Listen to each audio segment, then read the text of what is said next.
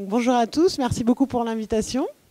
Alors moi je, suis ici pour vous présenter un peu l'activité euh, de notre agence de communication et euh, d'événementiel à Pessac, donc euh, pas très loin d'ici. Alors en fait on a créé notre agence en avril 2008 avec mon associé. On est donc une agence d'événementiel et de communication exclusivement dédiée aux entreprises et aux institutions publiques. On est une petite structure ce qui permet d'être assez flexible et permettre, ça permet aussi de répondre, euh, euh, on va dire, efficacement aux besoins des entreprises d'aujourd'hui, qui en fait sont toujours de plus en plus à demander les choses en dernière minute. Donc il faut, pouvoir jouer avec cette disponibilité qu'on a, puisqu'on est une petite structure, donc on n'a pas, on a, enfin tout se décide très rapidement. Et donc, donc voilà. Donc on a besoin, depuis 2015, en fait, on est euh, principalement à l'étranger, puisque en fait, on organise des événements sur New York et Miami, ce qui constitue 70% euh, euh, de notre chiffre d'affaires aujourd'hui. Donc voilà, donc essentiellement sur les États-Unis. Donc nos métiers sont l'événementiel, la création graphique, les relations presse et la post-production. Alors je ne sais pas si vous êtes un peu un peu sensible à, l'événementiel et à la communication, mais bon, l'événementiel, c'est euh, tout ce qui est organisation de salons, séminaires, inaugurations, des concerts privés, des colloques, des congrès. Donc euh, tout ce genre euh, d'événements qui peuvent traduire soit un besoin de l'entreprise, soit des besoins ponctuels, par exemple un anniversaire d'entreprise, etc., soit des besoins en, en image de marque de l'entreprise, où là, ils vont inviter leurs clients euh, voilà, donc en fonction de chaque but, il y a un événement qui est dédié. Donc ça va entre euh, le colloque, le congrès, euh, les lancements de produits, voilà.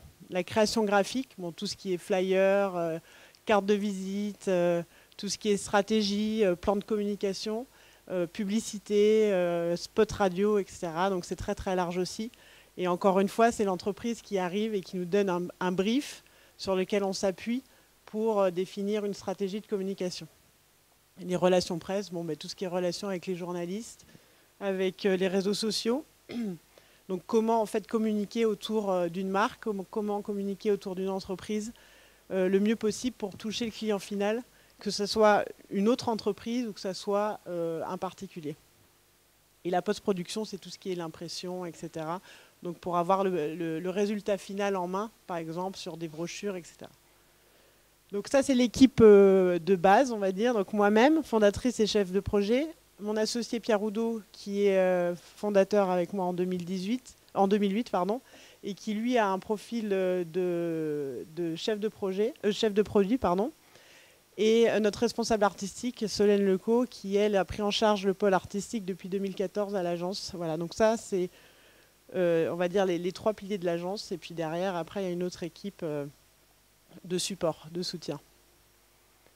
Donc ma formation, euh, elle est assez classique. Donc j'ai fait un bac euh, scientifique à Saint-Genès-Bordeaux. Euh, j'ai eu une licence de sciences éco pas très loin d'ici à Bordeaux 4. puis j'ai continué sur un master 2 à Cage, en sub de co en 2000. je crois que j'étais diplômée en 2004. Et j'ai fait un MBA à Xavier University. Et en fait, c'est la chance que Cage m'a donnée, c'est-à-dire de partir six mois euh, en MBA pour euh, voir si ça me plaisait.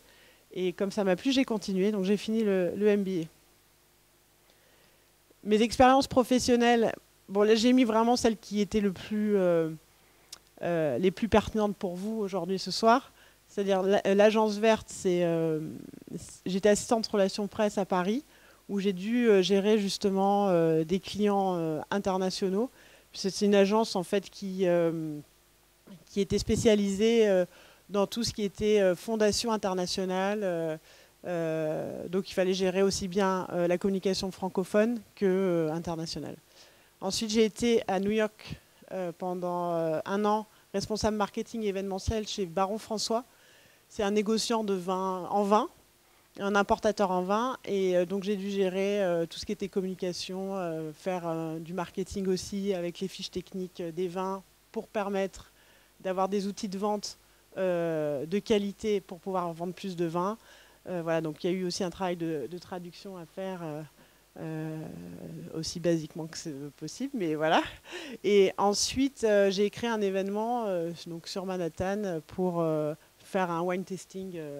voilà, donc ça, c'était mes premières expériences à l'international dans l'événementiel. Et ensuite, je suis partie à Florence, en Italie, euh, pour euh, devenir responsable communication et développement international. Donc je suis partie euh, sur un coup de tête, hein, tout simplement. je ne connaissais pas du tout l'italien. Et en fait, j'aimais beaucoup l'Italie, et notamment Florence. Et après mon, mon expérience à New York, où j'avais envie de, changer un peu de vie, je me suis dit, bah, ok, je suis encore jeune, qu'est-ce que je fais? J'avais pas de mari, j'avais pas de copain, j'avais pas tout ça. Donc je me suis dit, je peux encore profiter euh, pour m'épanouir, enfin m'épanouir et aller voir et aller chercher ce que j'ai envie de, voilà, ce que, enfin, euh, ce que j'ai envie de, de, de trouver, hein, tout simplement, de dire euh, comment on peut. Je suis désolée, je suis malade, donc mes, mes, propos sont un peu incohérents. donc en fait, je suis allée en Italie pour, ben, pour faire de l'expérience tout simplement, et, donc je suis partie en, 2000, en 2006. 2005, oui 2005, fin de 2005. Euh, en Italie, je ne connaissais pas du tout l'italien. J'ai fait trois mois de cours intensifs et euh, deux mois après, j'ai trouvé un travail de responsable communication et développement international dans un, réseau de spas euh, et centres de luxe urbains où en fait là j'étais en contact avec une vingtaine de pays et responsable des franchises de ces 20 pays-là. Donc c'était une très bonne expérience. Ça a duré trois ans et je suis ensuite rentrée à Bordeaux où j'ai créé euh, l'agence Aléo Événements, euh, où en fait, au début, on était focalisé que sur la France parce que bah, c'est comme ça, il faut trouver des clients, on, fait, on active tous les réseaux et, voilà. Et ensuite, ben, mon parcours professionnel et personnel m'a un peu rattrapé. Et donc, on a développé plus intensément l'international. Et aujourd'hui, c'est ce qui fait aussi la richesse de notre agence parce que il y a plein de défis et plein d'enjeux qui sont encore plus intéressants que rester euh, euh, sur le plan français.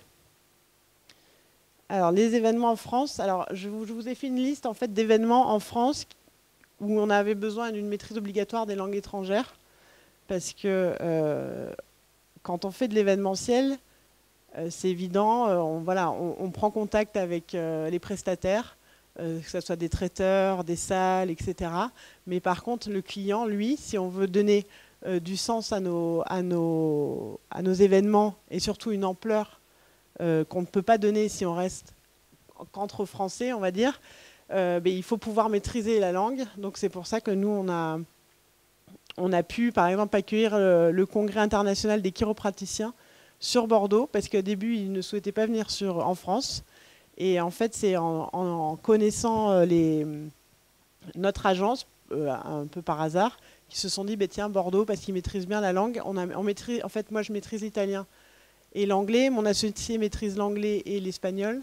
Donc, ça recouvrait bien, en fait, euh, le, panel des invités. Et donc, on pouvait s'adapter, enfin, s'adapter à chaque invité avec sa langue maternelle et c'était un plus pour eux. Ils se sont dit bon bah tiens en plus Bordeaux c'est sympa donc voilà on va faire à Bordeaux.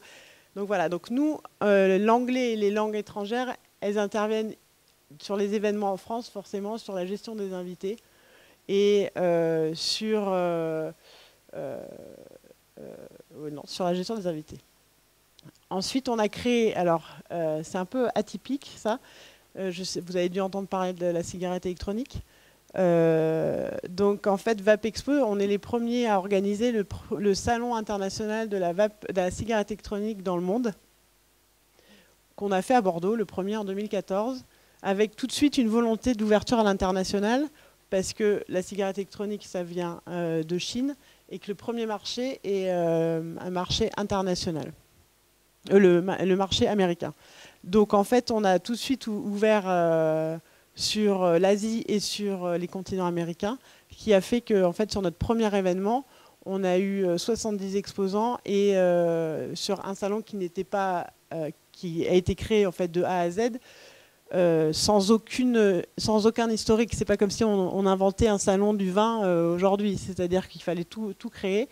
Donc 70 exposants et on s'est retrouvé avec 4000 visiteurs pro. Donc c'était assez énorme sur Bordeaux. Voilà, donc on a décidé de le développer. depuis 2014, donc, Vapexpo et Vapiven sont les salons incontournables de la cigarette électronique. Et aujourd'hui, on est à 250 exposants pour 12 000 visiteurs. Donc comme quoi le choix de l'international dès le départ a été le, bon cheval, puisque, puisque ça nous a permis de, nous imposer comme le marché leader, le, le, salon leader pardon, euh, de, la cigarette électronique, sachant que la cigarette électronique aujourd'hui est un marché très... Euh, euh, en évolution constante et avec, qui va faire 22 milliards de dollars l'année prochaine. Donc c'est énorme. Ensuite, donc on, a fait au Grand Rex l'inauguration, l'avant-première du film Billion Lives, où lui, donc c'est un, réalisateur américain, et donc en fait, ben, forcément, l'anglais était indispensable, et donc on a tout, géré en anglais avec lui. On devait trouver des distributeurs, etc. Et tout s'est fait en anglais, la liste des invités et tout ça. Euh, là, c'est en fait une inauguration de la centrale photovoltaïque pour le compte de Neoen. C'est une entreprise en fait euh, qui vient de rentrer en bourse et, euh, on, a accueilli, on a accueilli 250 personnes avec notamment beaucoup de journalistes français et internationaux où là aussi on a dû gérer ben, toute la logistique. Voilà. Et aussi les invités internationaux. Euh, événement à l'international avec maîtrise obligatoire de la langue du pays et de sa culture. Parce qu'aujourd'hui, en fait, euh, c'est très important de maîtriser une langue, c'est évident quand ça fait partie de notre métier. Mais si on ne comprend pas la culture, on peut vite euh, passer à côté de, l'événement ou à côté ben, du projet parce que ben, la culture française n'est pas la même que la culture américaine ou que la culture chinoise et que tant qu'on n'a pas compris ça, on, peut se, se, heurter à un mur puisque euh, la clientèle et le public ne réagissent pas pareil. Donc VapEvent, c'est notre trade show international à New York City, euh, sur Brooklyn Greenpoint. Donc le prochain, là, il est fin mars. Et euh, donc voilà, ben, c'est l'organisation d'un salon. Je ne vais pas rentrer dans les détails, hein, mais encore une fois, nous, on a besoin, on, travaille avec les clients américains asiatiques et euh, donc euh, enfin chinois, euh, malaisiens, coréens et, et, français et européens, où en fait tout le monde se retrouve à New York pour, pour ce salon. donc on a les exposants à gérer d'un côté et on a aussi les visiteurs. Donc il faut adapter notre communication aussi bien anglaise, portugaise, espagnole, italienne pour faire venir aussi bien les visiteurs que les exposants. Euh, donc ça, c'est notre salon à Miami. Donc ça, c'est notre prochain projet euh, en juin 2019, où en fait, on organise pour le compte d'une entreprise euh, une croisière dans les îles grecques pour 180 employés. Donc là, encore une fois, on doit gérer avec 10 pays différents, 10 langues différentes. Donc c'est important de se faire aider justement d'interprètes ou de traducteurs pour certaines langues euh, et, surtout s'adapter en fait au public parce que quand on est à 180 personnes avec différentes cultures, euh, certaines euh, certaines souvenirs, par exemple souvenirs d'enfance français ne correspondent pas à des souvenirs d'enfance américains ou asiatiques. Donc au final, il fallait trouver en fait des outils de communication qui, soient en fait compris est reçu euh, aussi bien par euh, un Français qu'un Portugais, qu'un Mexicain, euh, qu'un Jamaïcain. Donc voilà, donc c'est pour ça, on a, pour l'invitation, on a pensé à une maquette en bois, style retour en enfance, et ça a très très bien pris. voilà, donc en fait, voilà, il faut rester sur du basique quand on, en fait, on veut faire du, de la communication dans différents pays. C'est soit on reste sur du basique pour avoir une communication harmonisée sur l'ensemble des pays, soit on fait du ciblage, et dans ces cas-là, euh, il faut être pointu dans chaque culture de chaque pays, parce qu'il faut vraiment se renseigner pour être sûr que l'effet euh, soit positif et que l'effet voulu soit, là. Alors la journée type de l'agence, en fait, on commence à 9h, de 9h à 13h, on, gère les, les, clients asiatiques et européens. 14h à 18h, on gère les clients européens et américains sur la côte Est. Et 20h, 23h, les gestions de clients américains sur la côte Ouest. Donc euh, nos journées sont assez remplies. Euh, et, le fait d'être à l'international nous oblige justement à, couvrir, et être une petite équipe aussi, à nous couvrir euh, voilà, tous les fuseaux horaires. Donc voilà. On, a, on travaille 70% du temps en anglais, 20% en français et 10% dans les autres langues, donc l'italien, le portugais ou l'espagnol. Donc voilà. Alors, la maîtrise d'une langue, qu'est-ce qu'elle nous apporte aujourd'hui D'une langue ou de plusieurs langues, mais principalement pour notre, euh, notre travail à nous, c'est l'anglais. Mais ça augmente notre zone d'action, forcément. Ça attire les grands comptes et les entreprises internationales. Et ça apporte un gage de qualité à nos services, puisqu'un de nos clients qui nous dit ben, Moi, j'ai des clients euh, portugais, quand on leur dit ben, Il n'y a pas de souci, on maîtrise la langue, on va pouvoir leur envoyer des emails en portugais, ben, forcément, ils apprécient. Et donc, euh, donc ça, ça, améliore euh, nos services et, surtout la réputation de l'agence. les deux difficultés majeures que je vois, en fait, c'est une fois que justement on a augmenté notre zone d'action, euh, c'est de savoir se démarquer par rapport à une plus grande concurrence. Parce que forcément, euh, on ne se limite pas à notre réseau franco-français. Donc ensuite, il faut pouvoir, euh, à l'international, expliquer pourquoi un client va prendre notre agence plutôt qu'une une agence événementielle américaine, par exemple. Donc ça, c'est un travail de tous les jours. Et ensuite, je, pour moi, enfin, au niveau de l'événementiel, et je pense que c'est un peu, ça s'applique un peu dans tous les, les domaines, c'est que la maîtrise d'une langue ne vaut rien si on ne comprend pas la culture et l'histoire du pays dans lequel nous travaillons. C'est ce que j'ai dit tout à l'heure, c'est qu'on peut passer à côté de beaucoup de choses si on ne comprend pas euh, la culture du pays dans lequel nous travaillons ou que nous recevons, tout simplement. Par exemple, nous, on a eu l'habitude de travailler avec des, Chinois euh, sur nos événements ou nos salons. Et en fait, il faut savoir que les Chinois ne mangent que euh, chinois. Donc, s'il n'y a pas de stand de, nourriture chinoise sur le, salon ou sur l'événement, ben, ils, le prennent assez mal parce que justement, on ne les a pas compris, tout simplement.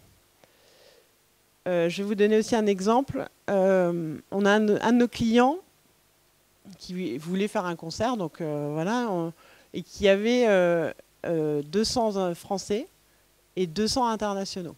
Et il nous a dit, bah, tiens, on va faire un concert, ça va être bien, etc. Et il nous a dit, est-ce que vous pouvez avoir Bertignac? Alors on a dit, bah oui, on peut avoir Bertignac, il n'y a pas de souci. Mais, mais on leur a dit, mais euh, par contre, Bertignac pour les étrangers, euh, je ne suis pas sûr que ça passe. Quoi. Et en fait, donc on lui a fait plusieurs autres propositions. Euh, des vedettes un peu plus, enfin des stars un peu plus internationales. Et il s'est focalisé sur Bertignac parce que je pense qu'il aimait bien Bertignac.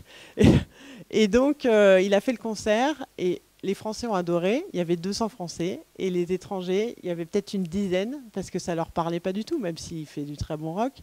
Ils se disent bah non, on va à l'hôtel, on rentre, euh, voilà. Donc faut aussi jouer sur il y a notre culture à nous, il y a la culture des autres et il y a aussi l'aura que l'on veut donner à l'événement.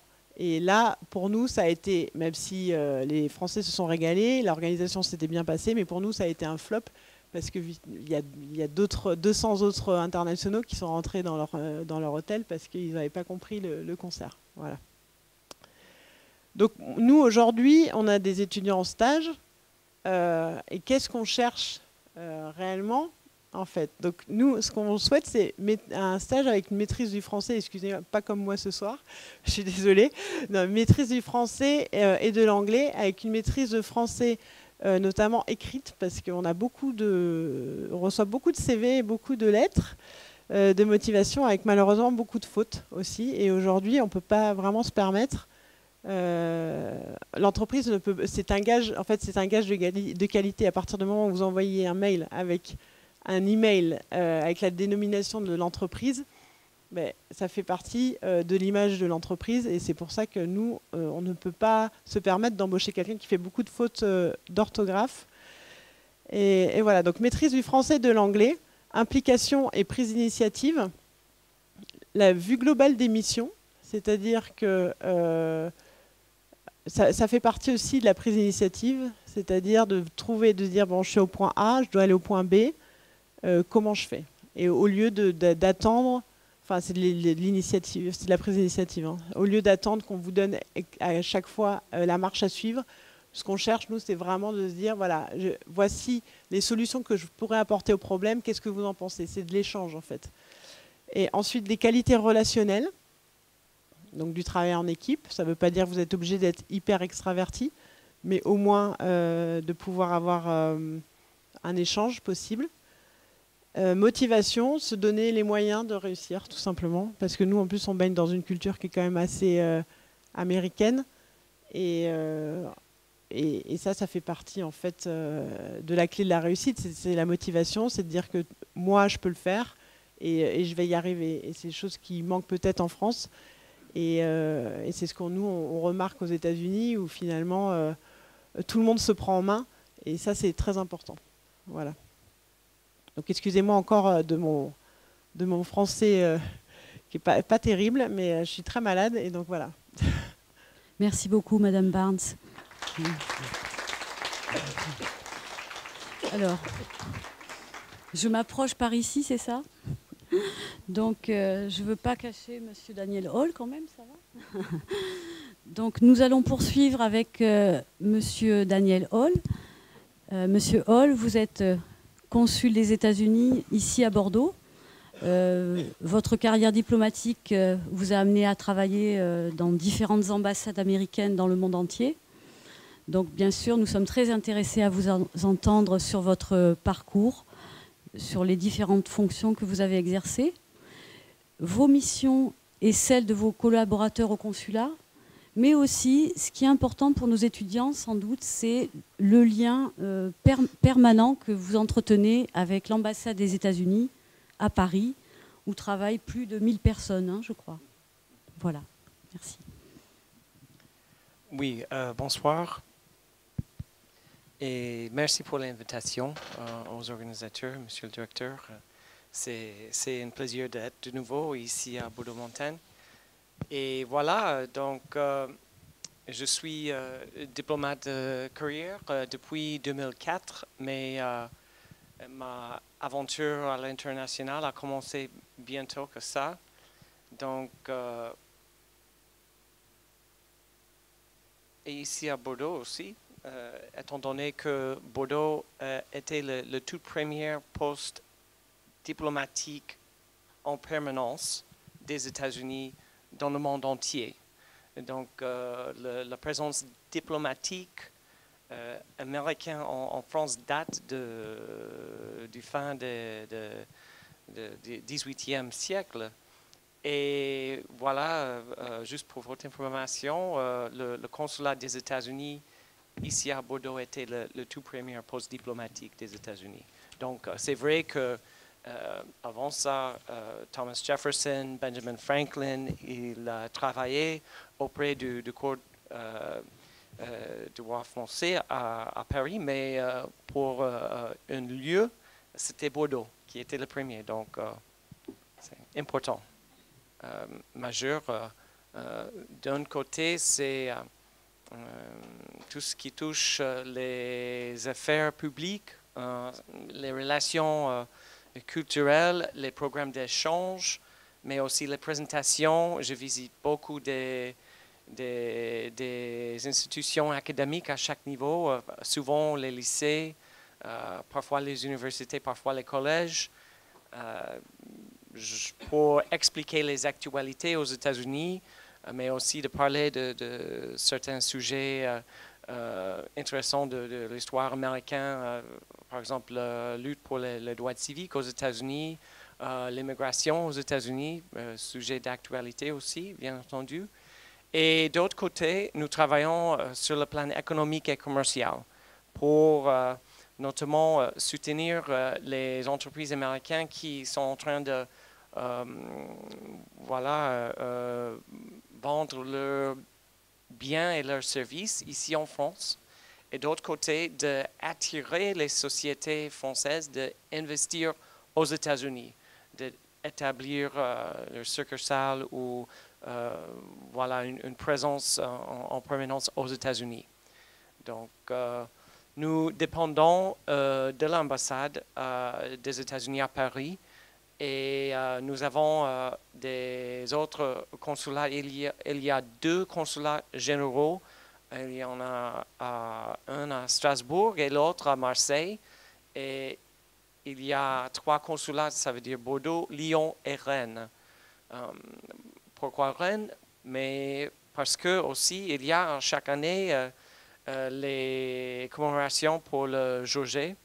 Donc euh, cette année, on va marquer le 75e anniversaire. Et aussi il y a, juste dans, tout le France entier, et, c'est quelque chose qui, vraiment, je, trouve vraiment émouvant, un travail de, mémoire et euh, euh, beaucoup de cérémonies de commémoration. Euh, notamment, on vient de, conclure le, siècle 14-18, mais on n'a pas exactement la même chose aux États-Unis. Donc, c'était très, très intéressant. Alors,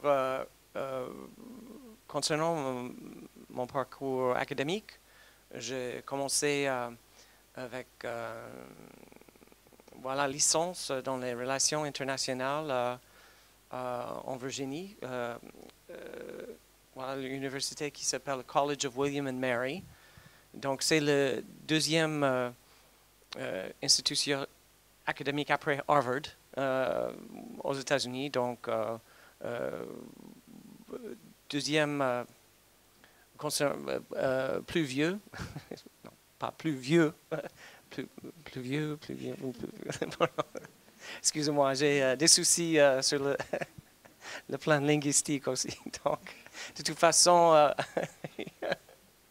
euh, pour mes études dans le commerce international, c'était à l'école qui s'appelle Thunderbird en Arizona, qui maintenant appartient à, à le grande université qui s'appelle Arizona State University avec 70 000 euh, étudiants. Voilà. Mais euh, c'est une petite école, Thunderbird, c'est juste une, euh, petite partie de, ça qui, qui est, focalisée sur la commerce international. Mais comme beaucoup d'étudiants américains, j'avais une pause de 7 ans, je crois, entre la licence et le, voilà, les études euh, de, voilà, commerce international. Et euh, pendant euh, cette pause, je faisais le, oui, deux ans dans une structure, une organisation américaine qui s'appelle le, Peace Corps, Corps de la paix. Voilà, le Corps de la paix qui, qui est pour les, les volontaires américains, souvent euh, les jeunes diplômés, mais aussi euh, les jeunes retraités, je dirais, et qui ont encore envie. Et donc, euh, c'est un programme qui a été fondé par président John F. Kennedy, JFK, alors, au début des, années 60, et qui envoie les Américains à l'étranger pour travailler dans les pays qui invite le corps de la paix, euh, soit sur le plan éducatif, soit euh, euh, sur le plan de santé ou le plan agricole, environnemental. Et donc, j'avais le grand plaisir d'enseigner la langue anglaise pendant deux ans dans les années 90. Et c'était une, expérience très forte. je ne le faisais pas pour, je ne fais pas pour l'argent parce qu'en tant que volontaire, euh, on a reçu juste euh, euh, voilà, un, peu d'argent pour acheter la nourriture et, et voilà, mais c'était en Pologne et une expérience très riche et intéressante. Donc, pour ceux qui mm, n'ont pas encore formulé une, très bonne idée de la vie après, je recommanderais euh, aussi de considérer de partir à l'étranger pour euh, enseigner euh, votre langue maternelle. Voilà, donc le français. C'était une expérience très riche pour moi personnellement. puis après, c'était pendant mes études de MBA, je, faisais une pause de un an pour travailler pour l'agence de développement international des États-Unis, USAID. Donc, euh, euh, je le faisais aussi en Pologne, euh, là où il y avait ces institutions, parce que c'était le moment quand la Pologne était en transition vers une économie de marché, etc. Et c'est aussi vrai, je pense, pour toutes les, organisations euh, qui travaillent dans le développement, euh, euh, il y a beaucoup de, des opportunités pour ceux qui s'intéressent à l'étranger. Et voilà, concernant mon, parcours professionnel dans le département d'État, parce que c'est le, département d'État qui est le euh, équivalent américain de, votre ministère des Affaires étrangères. Euh, mon collègue va parler. Euh, oui, tout de suite. Je crois. de toute façon, j'étais au consulat des États-Unis à Basora, en Irak, du Sud en tant que section, chef de la section économique. Avant ça, j'étais à l'ambassade des États-Unis en Varsovie, en Pologne dans la section euh, euh, politique économique. Euh, puis voilà, comme j'ai mentionné, le travail à Washington, c'était, oui, presque trois ans que j'y ai travaillé pour... c'était sur le dossier plutôt de l'Europe de l'Est. partie euh, de, de, l'Europe, du monde, euh, intéressant et toujours en transition avec euh, beaucoup de défis, notamment les, pays comme Ukraine, Belarus, Moldavie, qui sont un peu voilà, entre Europe de, l'Ouest et, Russie. Et, voilà, notamment, j'ai travaillé avant ça à Moscou à l'ambassade des États-Unis. Euh, donc, je, parle polonais, je parle euh, russe et, le français un peu. Euh, donc, avant ça, j'étais pour ma toute première poste diplomatique à l'ambassade des États-Unis à Cotonou, au Bénin, qui était fascinante. Et, concernant, c'est très important, je voudrais euh, expliquer un peu le, modèle euh, euh, de la diplomatie américaine. nous avons dans le département d'État, concernant le, nombre d'emplois, c'est 75 000 personnes, mais les deux tiers, donc 50 000, sont, ne sont pas les citoyens américains. Ce sont nos collègues qui sont euh, dans les ambassades, dans les consulats, euh, un peu partout. Euh, et justement, comme Mme Marouin a dit, à Paris, il y a à peu près 1000 personnes qui travaillent à, l'ambassade des États-Unis, mais c'est, je, pense, le, trois quarts qui sont les citoyens français. Et donc, ce sont nos collègues euh, basé en permanence euh, dans le, pays hôte, je dirais, qui, euh, qui sont la mémoire institutionnelle. Parce que moi, par exemple, je, suis là à Bordeaux pour trois ans, mais mes deux collègues dans notre petit bureau ici vont rester et vont continuer le travail, ils vont maintenir les réseaux et voilà pour euh, le, prochain, consul euh, serait assez simple de continuer le, travail. C'est la même chose dans les ambassades et les consulats un, peu partout. Donc, euh, si jamais peut-être vous vous intéressez, j'ai deux choses à recommander. il y a un programme de stage et, donc pour ceux qui sont intéressés par la possibilité de faire un stage, vous, pouvez vous renseigner sur le site web de l'ambassade des États-Unis à Paris. Ça veut dire fr.usembassy, écrit ensemble en anglais, .gov, G-O-V. Et voilà, le programme pour, pas seulement pour l'ambassade, mais pour tous les consulats est géré au niveau central à Paris par le Bureau des ressources humaines euh, de l'ambassade des États-Unis à Paris. Et puis après, il y a aussi des annonces pour euh, les positions euh, permanentes. Et donc, je vous encourage, si, si vous avez envie de, de travailler pour la mission diplomatique américaine ici en France, il y a cette possibilité. et je, oui, c'est une,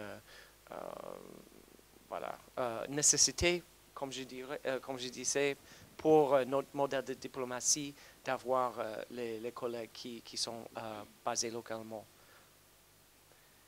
Et puis après, bon, c'est c'est vrai que pour les, les, diplomates américains, mais je pense pour les diplomates en général, si je ne me, buse pas, Olivier, euh, me corriger, mais de toute façon, non, mais c'est un engagement pour le service public, euh, un intérêt dans euh, les autres pays et, langues, une volonté de mm, voilà, voyager et, d'être très loin de chez vous, qui est aussi un inconvénient parce que forcément, vous ratez beaucoup de choses quand vous êtes à l'étranger.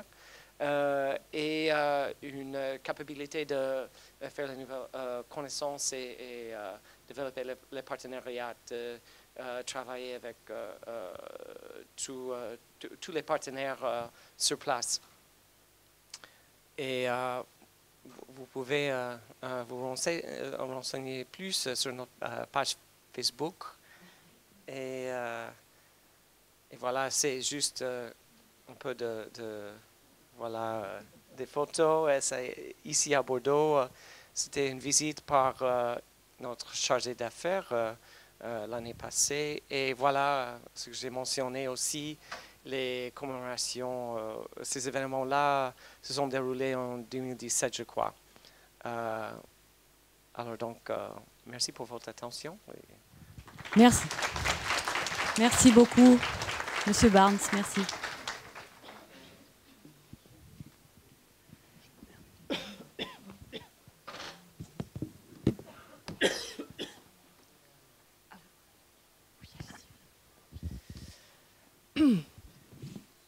Donc, euh, nous allons passer, nous allons vous écouter à Madame Emmanuelle Jourdan. Euh, par contre, j'aimerais juste présenter deux personnes qui sont arrivées, que j'ai pu identifier. Donc, euh, Madame Rachbull, responsable de, de, la filière LEA, et également l'association Lille de Way, qui est représentée par des membres. Donc, c'est une association particulièrement active, hein, comme toutes les associations étudiantes de l'université. Euh, donc merci Monsieur Hall pour cette présentation. Madame Emmanuelle Jourdan, excusez-moi, moi aussi je suis malade, ça met un peu dans un état cotonneux. Euh, est-ce que vous pourriez nous présenter votre parcours? Parce que beaucoup d'étudiants sont intéressés par les métiers des relations internationales, mais également par l'interprétariat et la traduction, ce que vous exercez. Et également, est-ce que vous pourriez nous renseigner sur les conditions de travail, en, en nous donnant peut-être des exemples ou Merci. Merci. bonjour et je vous remercie de m'avoir invité. Euh, oui, voilà, Emmanuel Jourdan, interprète de conférences euh, assermentée également et traductrice assermentée. Donc, j'exerce depuis 16 euh, ans maintenant. Donc, je suis sur Bordeaux. interprète, j'ai toujours voulu faire ça depuis que je suis petite. C'est depuis l'âge de 12 ans. J'avais toujours ça en tête. C'était ce métier-là et pas autre chose. Donc, voilà. Comment ça s'est passé au niveau du parcours? J'ai fait une licence à l'LCE, ça s'appelait LCE à l'époque, et en anglais. Et pour moi, c'était inconcevable de continuer mes études en France si je voulais m'améliorer dans la langue anglaise, il fallait que je parte. Donc je suis partie euh, un peu à Londres et puis surtout après je suis partie à Dublin en Irlande à Dublin City University où j'ai fait mon diplôme d'interprète de conférence. Voilà, donc euh, j'ai travaillé pas mal en Irlande avant de, lancer dans, ce diplôme qui correspond à un DESS, Graduate Diploma en interprétation de conférence, voilà. Et après, je suis rentrée en France, je suis arrivée à Bordeaux. Je ne suis pas de Bordeaux à la base. Hein. À la base, je suis de, Nantes. région nantaise, en Bretagne. Je suis retrouvée à Bordeaux pour différentes circonstances. Je voulais repartir sur l'étranger et j'ai tellement aimé la région ici, je me suis dit, ben, je reste là. Quoi. Et donc ben, j'ai démarré euh, ben, ici en tant qu'interprète. Donc, euh, bon, au début, c'est un long parcours, c'est pas évident, c'est un marché qui est assez fermé, c'est pas c'est pas simple, mais il faut pas lâcher. Et qu'est-ce que j'ai fait? Bah, J'ai frappé à la porte des agences d'interprétation et de traduction de Bordeaux. Je suis tombée sur euh, les dirigeants d'une agence qui était absolument adorable, qui maintenant bon, sont à la retraite, m'ont vraiment mis le pied à l'étrier, m'ont expliqué euh, comment ça se passait en France, parce que je connaissais rien du marché français, notamment même des conditions de travail en France. Euh, d'être en indépendant. Moi, j'étais habituée à travailler dans des systèmes anglo-saxons où il n'y a pas autant d'administratifs, de paperasserie et tout ça. Donc j'ai appris tout ça, qui m'ont tout expliqué et qui m'ont mis le pied à l'étrier sur une première conférence, sur une demi-journée où je me suis retrouvée à traduire Alain Juppé pour la première conférence. J'étais bon, c'était un gros moment de le palpitant et c'était mon baptême du feu. Ça s'est bien passé. Et puis petit à petit, ben, voilà, le réseau se fait. Vous frappez. C'est beaucoup du bouche à oreille. Envoyer les CV aux agences, tout ça, ça marche, mais c'est vraiment du bouche à oreille. C'est un petit réseau, on se connaît tous. Et petit à petit, on en fait de plus en plus, on commence à être connu. Et par la force des choses, moi, c'est vrai que petit à petit, je me suis spécialisée dans un domaine que j'ai toujours beaucoup aimé, parce que si j'avais pas fait interprète, j'aurais fait des études de médecine, donc vraiment différent. Et je me suis retrouvée à me spécialiser dans le médical, parce que j'ai toujours voulu traduire dans le médical, et ce qui fait que principalement, je dirais trois quarts, la bonne moitié, oui, 60% de mes clients sont dans le médical, laboratoire pharmaceutique essentiellement. Je travaille vraiment dans ce domaine-là. Et aussi en, après quoi, ça fait euh, cinq ans après donc, m'être installée en tant qu'interprète, j'ai postulé pour devenir interprète assermentée. J'ai été immédiatement, donc j'ai mon assermentation a été acceptée immédiatement, donc je suis euh, devenue interprète assermentée.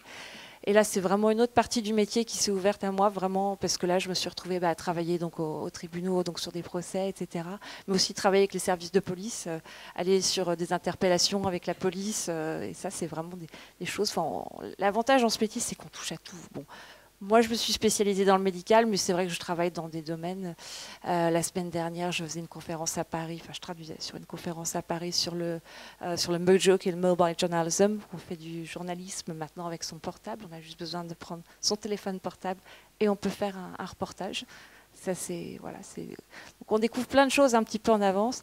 Et deux jours avant cette conférence-là, je faisais un, congrès de néphrologie. Donc, il faut ça demande beaucoup de flexibilité. On, on passe à d'une chose à une autre. Euh, et 4-5 jours avant, je faisais un, congrès, enfin une euh, réunion, une grande réunion pour une société américaine qui vend des produits amaigrissants, qui vendait du dentifrice qui fait maigrir aussi. Je ne savais pas que ça existait. Euh, et je faisais ça, c'était un événement qui était au Grand Rex, donc il y a une semaine. Oui. Donc c'est un métier qui demande beaucoup de flexibilité, de souplesse, et c'est ça qui est génial parce qu'on touche à tous les domaines. Et bon, enfin, moi, je m'épanouis énormément dans ce métier-là. Bon, il y a des parfois, c'est c'est pas toujours rose non plus. Il y a les intervenants qui parlent vite. Il y a des conférences où c'est plus difficile. Il faut se préparer. On, parfois, vous arrivez sur une conférence. Euh, je pense dernièrement une conférence où on vous envoie, on vous envoie rien du tout dans le domaine pétrolier pour des raisons de confidentialité. Le client ne vous envoie rien du tout. Vous connaissez juste le thème de la conférence, mais le thème va être assez général. Il faut savoir bah, vous préparer, chercher. Le client ne peut pas vous donner des, des documents, donc c'est c'est toujours un peu stressant quand même. ça demande une grande, grande adaptation. Assez, moi, je dis que c'est un métier de caméléon un peu. Hein. il faut y aller, ça demande beaucoup de, Oui, il faut être assez fonceur. Contrairement au métier de traducteur que j'exerce aussi, mais plus principalement vraiment dans la sermentation, où là, on est plus posé, où on va être plus chez soi, à travailler sur les mots, etc. Euh, c'est vraiment différent.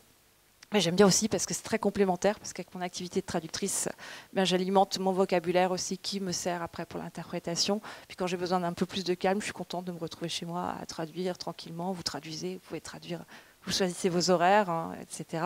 Ça ne veut pas dire que vous n'avez pas des deadlines euh, qui ne sont pas pressantes. Hein. Parfois, on vous demande une traduction qui était pour hier, il faut aller très vite. Euh, voilà, c'est souvent le cas, mais c'est comme ça. Euh, voilà, que dire, c'est voilà, c'est vraiment, enfin, je suis passionnée par. Je préfère qu'on me pose des questions. Je n'ai pas l'habitude de parler de moi comme ça. Euh, et donc je suis interprète en simultané. Alors voilà comment ça se passe en interprétation simultanée. On n'interprète jamais plus d'une heure, une heure et demie seul en cabine en simultané. Hein. On est toujours par deux, voire par trois. Récemment, j'ai fait un congrès en médecine vétérinaire équine à Paris. Là, c'est vraiment très pointu. Euh, vous retrouvez sur les opérations chirurgicales en live de chevaux. Là, vous êtes à trois parce que tous les 20 minutes, il faut se relayer. Alors voilà, bon, mais je me suis mis là-dedans parce que aussi j'ai la passion des chevaux et donc on choisit ça, voilà, hein, parce que ça c'est mon autre passion après. Parce que mon travail, c'est vrai, c'est vrai que c'est une passion. Quand j'ai pas fait de cabine en simultané pendant deux mois, ça me manque quoi. Les, vacances d'été, je suis contente de retrouver la cabine après. Il y a... je sais pas pourquoi, c'est comme ça. Euh, voilà, les difficultés qu'on au niveau des stages, on me demandait ça. Alors je ne prends pas de stagiaire, par contre je suis à mon compte, c'est plus difficile. Euh, je sais qu'on peut voir au niveau des institutions comme l'ONU ou l'Union européenne qui prend des stagiaires, je ne sais pas trop à ce niveau-là. Euh, leur processus de recrutement, je vous dis, il faut aller frapper à la porte des agences. Et après, c'est vraiment le bouche à oreille. On se connaît, c'est un réseau et voilà, c'est vraiment principalement comme ça. L'autre chose qui se fait de plus en plus maintenant chez les interprètes, c'est ce qu'on appelle les secrétariats, c'est-à-dire qu'on a un chargé d'affaires, une personne qui va gérer notre agenda d'interprète et qui, nous trouve des clients en fait, qui nous met en contact avec des clients. C'est une personne beaucoup rémunère hein, tous les trimestres, qui nous met en relation aussi, qui permet vraiment d'agrandir le, réseau euh, d'interprètes. Voilà comment ça se passe. C'est voilà, passionnant. Moi, j'adore ça. voilà. Après, je, serais très contente de répondre à vos questions.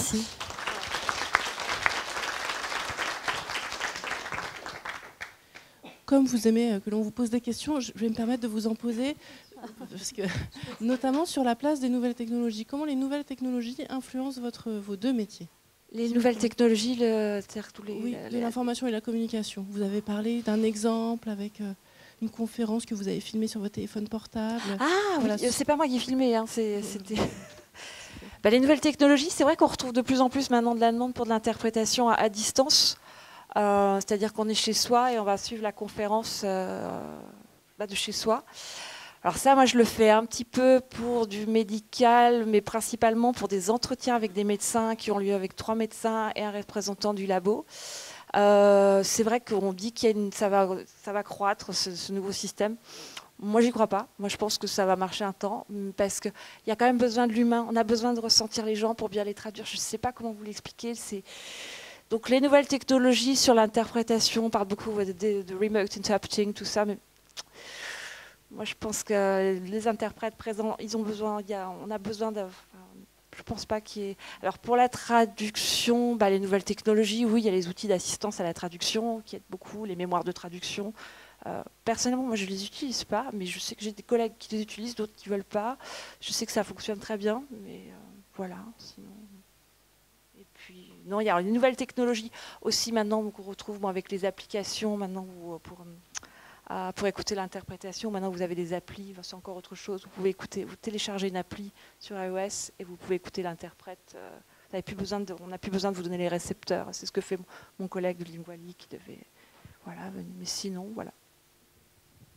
Merci. Autre question euh, J'imagine que vous devez beaucoup démarcher. Pour, oui. Euh, d'accord.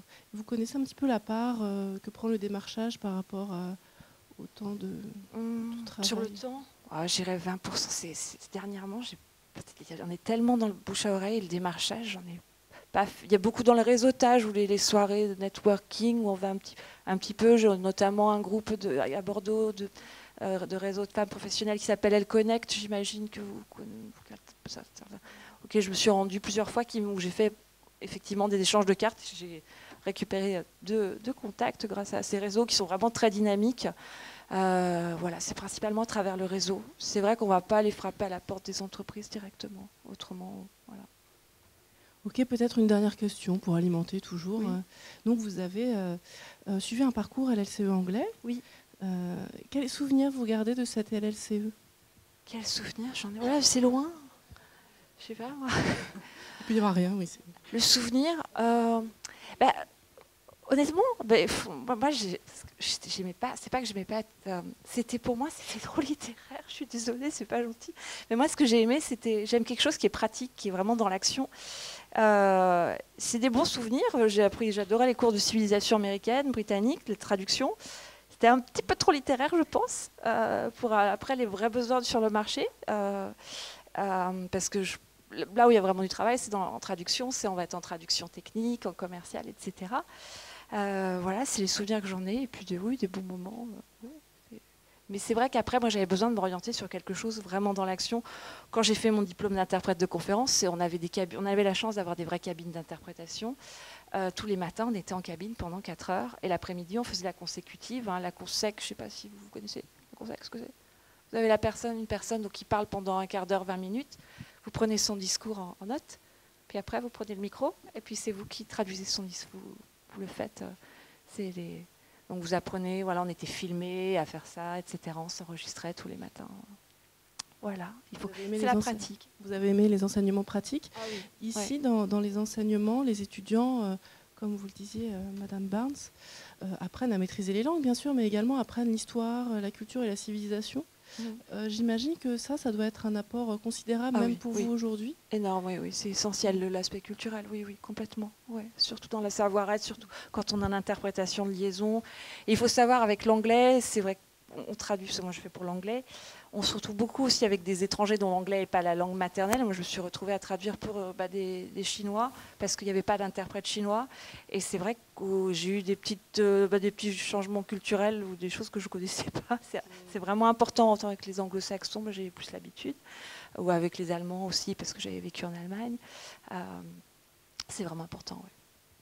Merci. Merci. Bien, merci Madame Jourdan. Nous, allons maintenant aborder les relations internationales du côté des collectivités territoriales. Monsieur Ramadour, vous êtes directeur des relations internationales Bordeaux Métropole. Vous avez également parcouru le monde. Vous allez un petit peu nous parler de, ça. Euh, je crois que votre direction mène des actions euh, de développement économique, euh, culturel, artistique, mais aussi de solidarité, développement de projets urbains durables. Voilà, si vous pouvez nous parler aussi de, des missions de votre direction. Je, vais donc, passer assez, rapidement sur la, partie plus diplomatique de, mon travail, puisque je suis euh, moi aussi membre du ministère des Affaires étrangères, mais français cette fois-ci, euh, qui, est un, donc un concours de la fonction publique de catégorie A. Euh, et, pour y arriver, moi j'ai fait euh, d'abord alors une première. J'ai toujours voulu faire ça, euh, depuis assez, assez longtemps. j'ai fait mon premier séjour à l'étranger, j'avais 13 ans dans le cadre d'un programme d'échange avec l'Angleterre. et puis j'en ai, fait, ai fait plusieurs, notamment, avec l'association Bordeaux-Bristol. et donc j'avais toujours envie d'aller rencontrer les autres et, finalement je me sentais aussi un peu chez moi ailleurs. Euh, et, donc cette, attirance pour aller, pour aller se rencontrer et se confronter à, d'autres a toujours motivé euh, mes choix à la fois euh, scolaires, universitaires et puis, et puis professionnels derrière.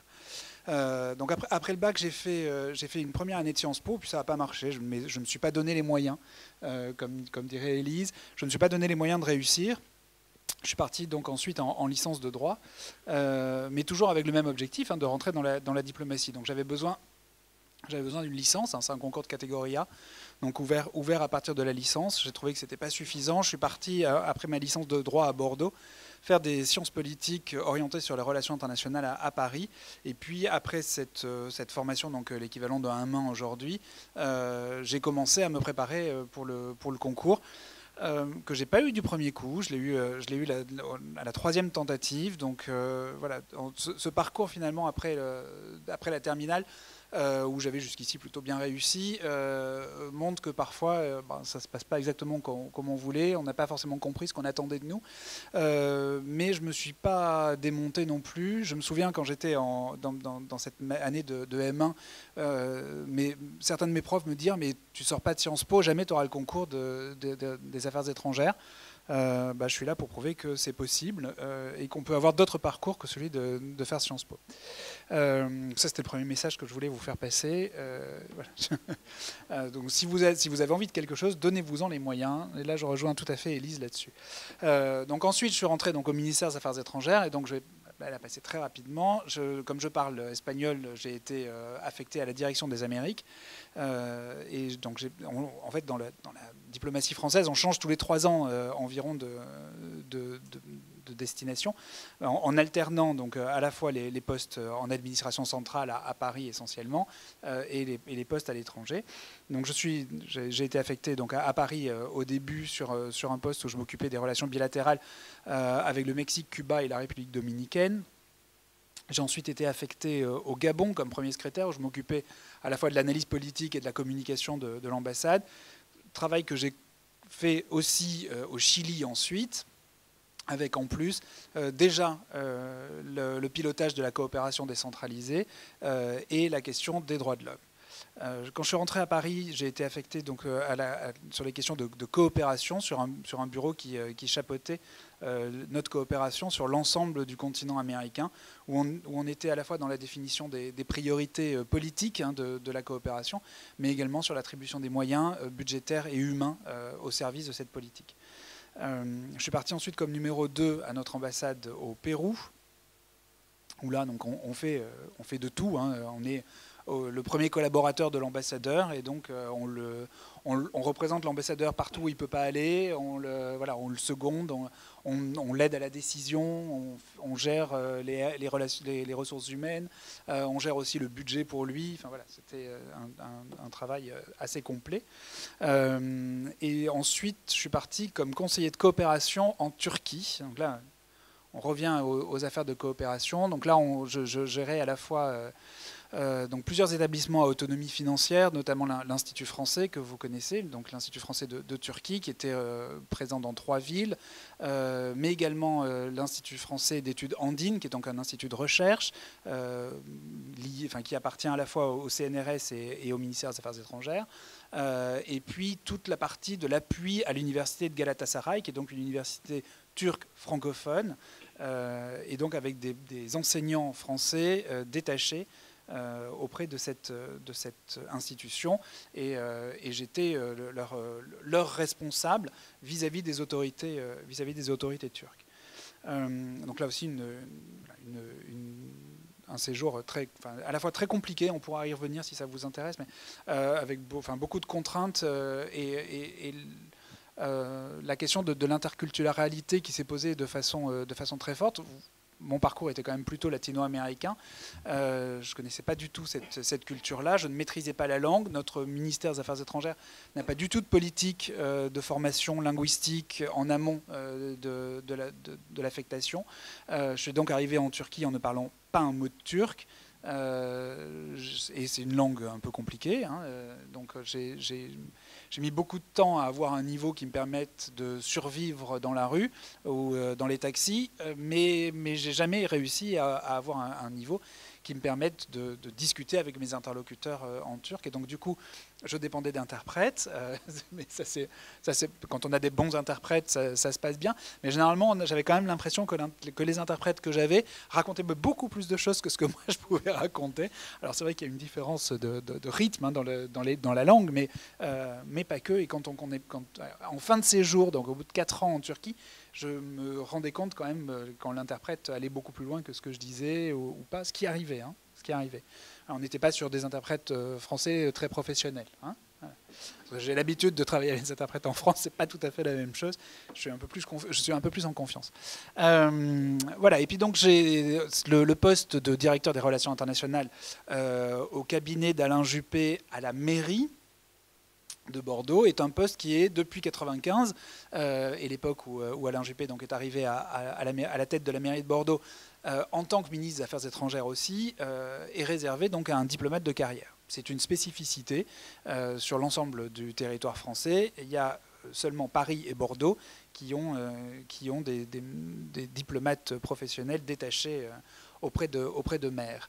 Euh, donc le poste était, était ouvert dans ce qu'on appelle la transparence. Donc j'ai postulé, j'étais bordelais, j'avais euh, euh, connu un certain nombre de, destinations qui sont des, villes jumelles de, Bordeaux.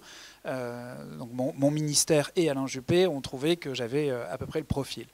et donc j'ai été recruté il y a deux ans, il y a deux ans et demi maintenant.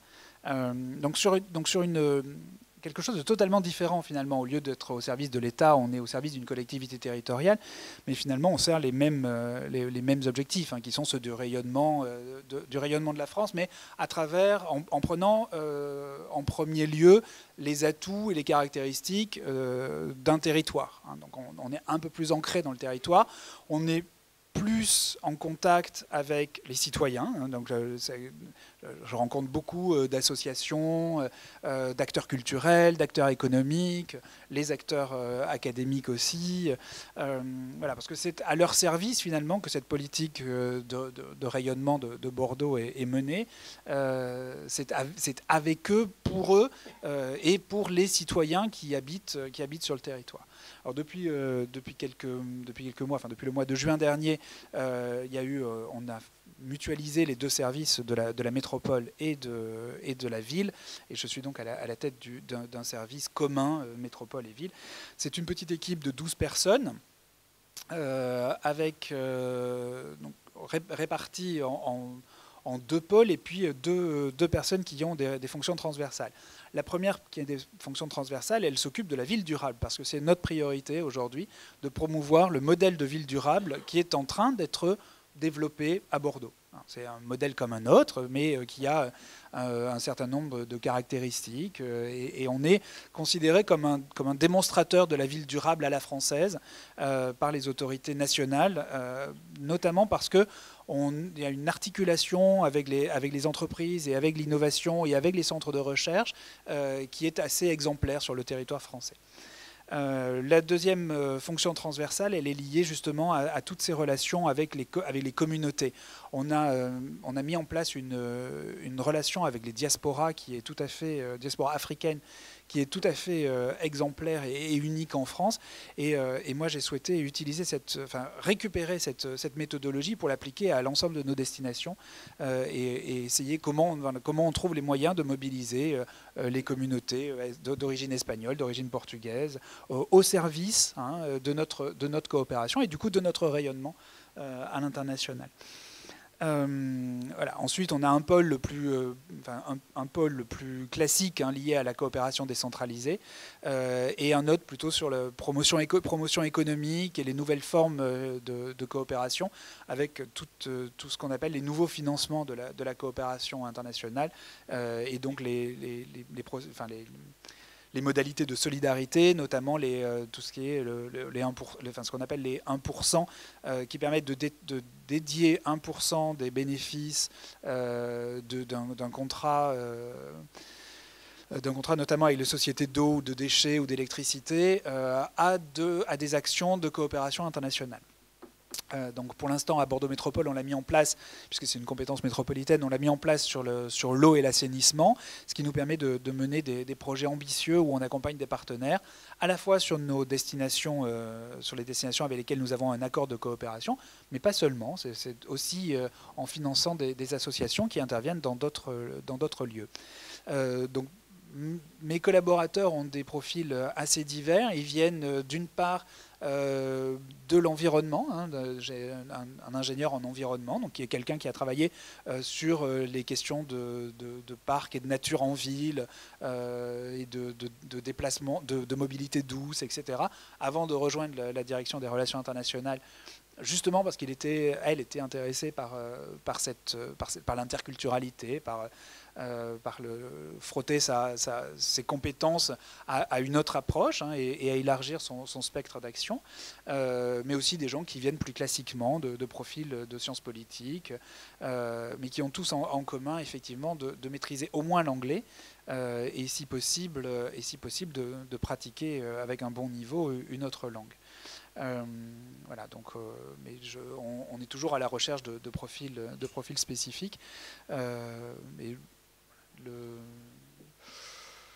voilà, le, donc on est, on, est à la fois enfin, à cheval sur, euh, sur, de la, sur la diplomatie économique. Hein. on accompagne beaucoup les acteurs économiques, c'est aujourd'hui une priorité, bien évidemment. Donc, euh, comment, on, comment on accompagne nos, acteurs économiques à la fois sur de nouveaux marchés euh, et puis comment on les, on les mobilise sur des marchés qui, parmi, par les contacts qu'on a, nous semblent intéressants et qui ne sont pas forcément sur leur, sur leur radar. Donc on est vraiment dans un, dans un échange avec les acteurs économiques dans, dans ce sens-là.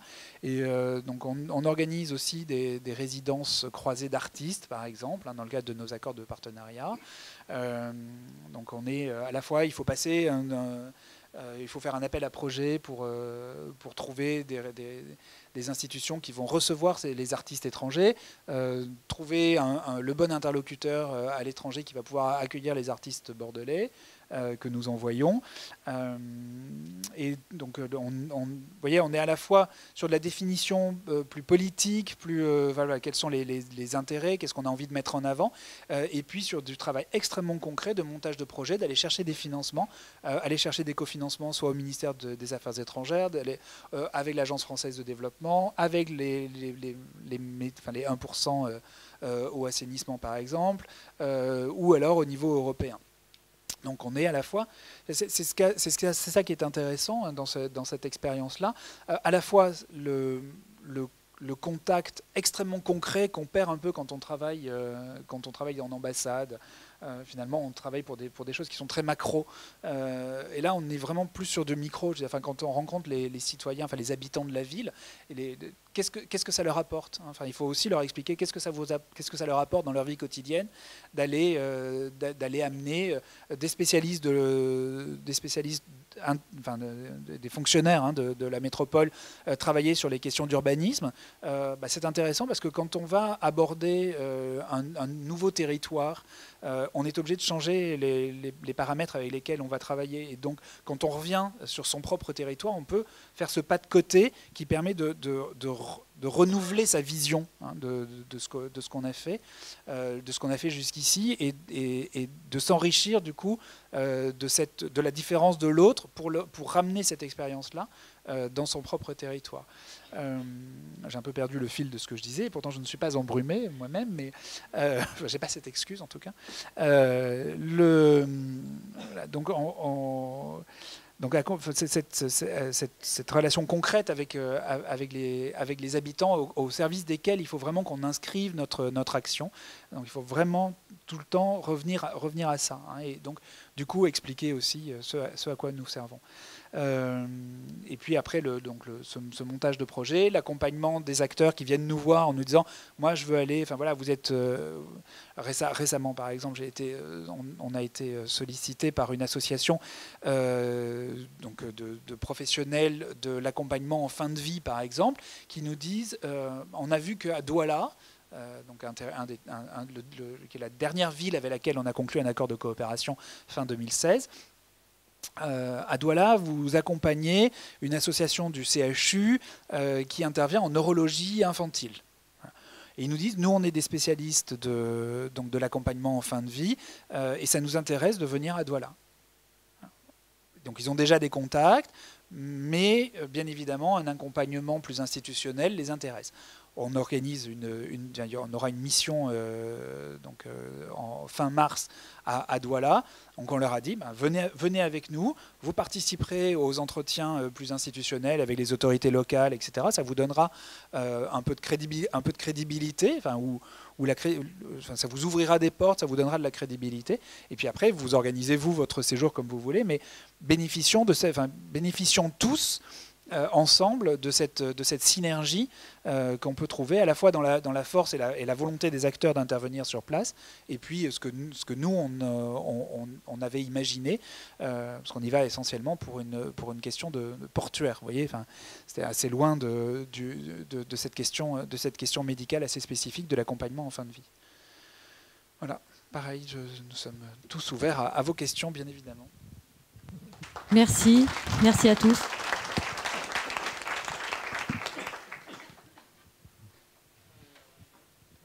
Nous sommes là avec les micros. si vous, souhaitez poser des questions. Les questions dureront 20 minutes.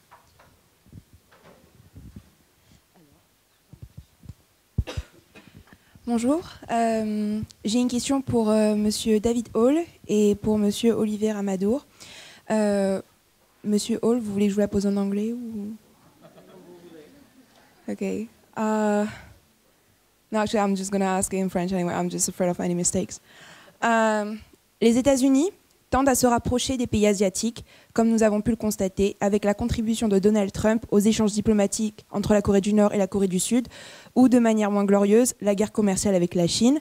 Cela, quelque part, au détriment de l'Europe. Mais vous, comment vous envisagez les relations futures entre les États-Unis et la France en particulier? Est-ce que cette relation historique a des chances de s'intensifier par quelconque euh, mesure, c'est-à-dire culturelle, artistique, même politique? Ou est-ce qu'au contraire, les divergences en termes de mesures géopolitiques vont mener à une distension de ce lien précieux outre-Atlantique? Et après, je poserai ma question à M. Ramadour. Merci. Merci, c'est une bonne question. Et, euh, good question. Il est un peu difficile de spéculer concernant l'avenir. Mais euh, nous savons, nous tous, que les relations euh, entre nos deux pays datent de, de, très longtemps. Et voilà, c'est grâce à marquis de Lafayette qui est je pense, plus connu aux États-Unis qu'ici en France. voilà, les États-Unis euh, euh, devenaient les États-Unis. Et euh, c'est aussi vrai que sur le, sur le plan de, de, notre alliance bilatérale et aussi multilatérale, dans le cas de l'OTAN et d'autres structures, nous, nous avons pu faire beaucoup trop sur le plan international que euh, euh, hors d'alliance. Et donc, euh, c'est une grande richesse qui, qui, nous avons. Et donc, c'est important, je, je, le mentionne, parce qu'il faut à chaque moment placer tous les événements, y compris les événements d'actualité, dans le contexte de ces longues relations. et aussi, euh, je, voudrais dire qu'il y a beaucoup de, choses euh, qui se passent très bien dans les, nos relations bilatérales. Euh, par exemple, sur le plan militaire, donc on est en train de voir les, les, on, espère le, fin de Daesh. et, un bon exemple, le, ministre de, des Armées, oui, euh, c'est pas le ministre de Défense nationale, c'est le ministre des, Armées. Elle, euh, quand elle était présente en Irak juste euh, avant hier ou avant hier, elle était transportée par un avion militaire américain. Voilà, c'est juste un exemple. Donc, même s'il y a hum, beaucoup dans, dans les le médias, euh, qui, euh, voilà, la, chose euh, ne marche pas bien. C'est, au contraire que l'actualité, en fait, parce que nous, avons beaucoup de domaines où nous travaillons, où nous avons travaillé, où on va continuer le, travail et, et les relations. Et donc, c'est pour cela aussi que je vous encourage de explorer les possibilités euh, de soit de, de, de, faire un stage euh, ou de voyager aux États-Unis. Il y a aussi, j'aurais dû le mentionner, un site qui s'appelle Education USA. Donc, je ne sais pas, c'est aussi une autre possibilité pour, pour vous tous, j'espère. Merci. Merci à vous. Une question pour Monsieur Ramadour. Euh, du coup, ça me permet de faire une transition. Je parlais des États-Unis, je voulais parler justement de la Turquie. Les États-Unis, dans le cadre d'un ultimatum, ont en grande partie contribué à la chute de la devise turque, à savoir la lira. Or, que pensez-vous de l'entrée de la Turquie au sein de l'Union européenne, toujours espérée par les Turcs, malgré une certaine réticence de la France, comme nous l'avons vu lors, lors des commémorations du génocide arménien, qui n'en demeurerait, donc cette euh, intégration au sein de l'Union, euh, pas moins une solution miracle, si je puis me permettre, pour ce pays d'Eurasie, voire pour la question de l'immigration puisque la Turquie, je le rappelle, constitue un espace géostratégique en la matière. Merci. Je ne suis, pas certain qu'on va au cœur du sujet mais je pense qu'on attendait aussi d'autres questions que des questions d'ordre politique, des questions plus générales qui peuvent convenir à tous nos invités également. Monsieur Ramadour. juste juste deux, petites choses. D'abord, je suis tout à fait d'accord avec Dan, il faut regarder euh, au-delà de l'écume des jours, hein, euh, derrière l'écume des jours. Euh, et, c'est vrai que la diplomatie, c'est aussi, c'est aussi le temps long. Hein. Donc, euh, au-delà au, delà des, relations qui sont parfois difficiles entre, entre hommes politiques, il faut regarder là où sont, nos intérêts. Et l'Europe restera euh, un, partenaire essentiel euh, pour les États-Unis, comme elle est un partenaire essentiel pour la Turquie, et comme la Turquie est un partenaire essentiel pour l'Europe. Hein, parce que qu'elle soit dans, l'Union européenne ou pas dans l'Union européenne, la Turquie est aux portes de l'Union européenne, elle a une histoire en commun euh, avec l'Union européenne. Il ne faut pas oublier que l'identité européenne qui est gréco-romaine naît sur le territoire qui est aujourd'hui celui de la Turquie. et on, est... donc je, veux dire, on, est aujourd'hui sur, euh, une, difficulté euh, vis-à-vis de, ce pays qui est liée au choix politique que la Turquie aujourd'hui fait hein, et que ses gouvernants Euh, donc je crois, qu'aujourd'hui, clairement, la, la Turquie d'aujourd'hui n'a pas sa place dans l'Union européenne parce qu'elle ne partage pas un certain nombre de valeurs qui sont des fondamentaux européens. Mais malheureusement, il y a un certain nombre de pays européens qui semblent ne plus les partager aussi, ou en tout cas dont les leaders ne semblent ne, semblent ne pas les ne plus les partager.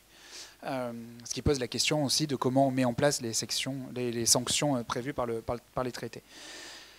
Mais aujourd'hui, comme, la Turquie n'est pas dans l'Union européenne, aujourd'hui, elle, peut avoir vocation à rentrer dans l'Union européenne et les, négociations ne sont pas coupées hein, sur, le, justement euh, sur, le processus d'adhésion. En revanche, euh, aujourd'hui, il va falloir qu'elle fasse un, certain nombre de, qu'elle mette en place un certain nombre de réformes, à la fois économiques, mais surtout politiques, de gouvernance, euh, pour montrer qu'elle adhère aux valeurs profondes de l'Union européenne.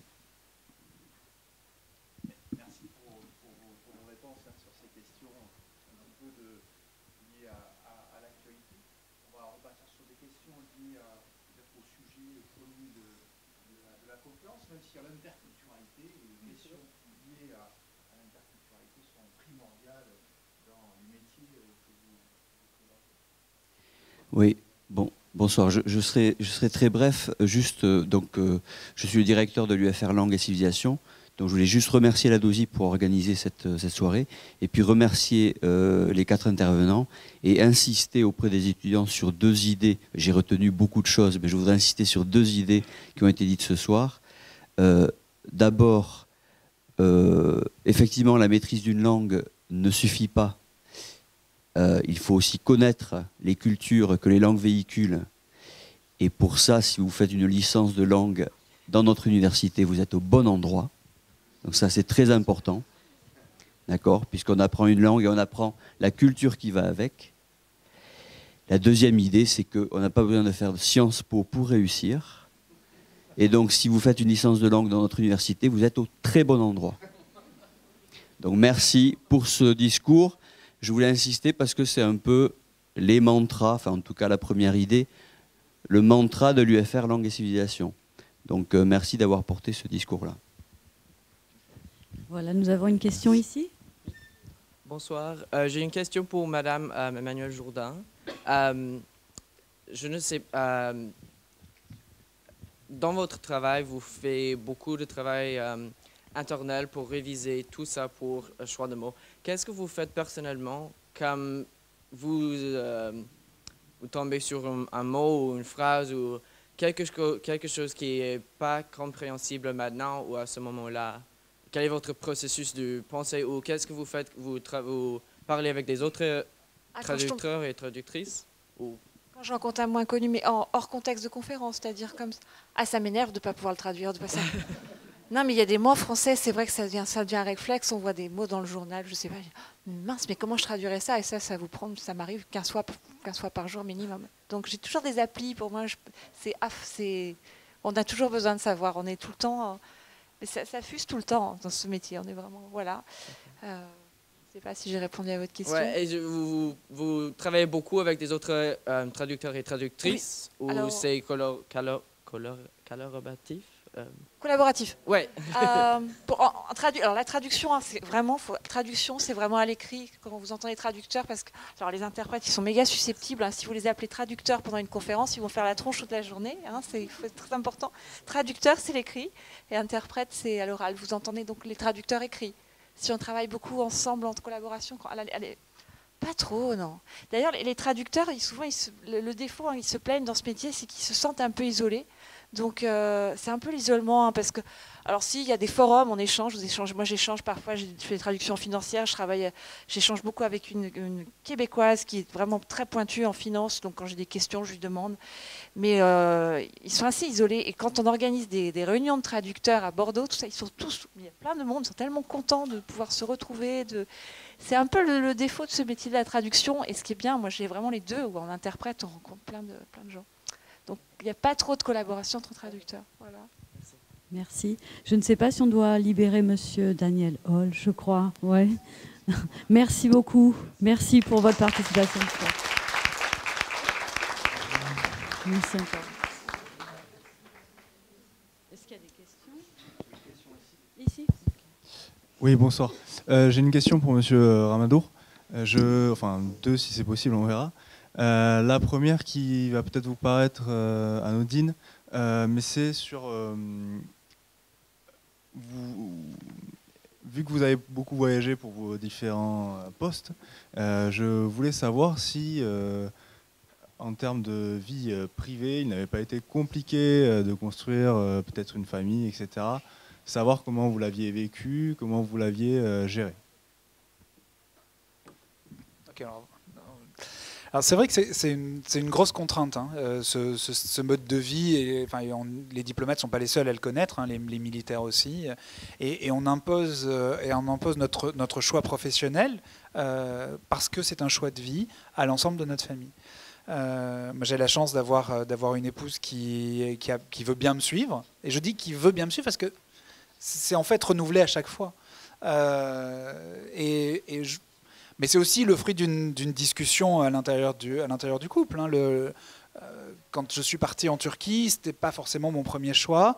Euh, on avait fait des, ch- des- des choix ensemble euh, qui n'ont pas pu être servis par, ma DRH, qui nous a ensuite proposé des choses. Et on avait trois destinations, il y en avait deux dont ma femme ne voulait pas entendre parler. Voilà.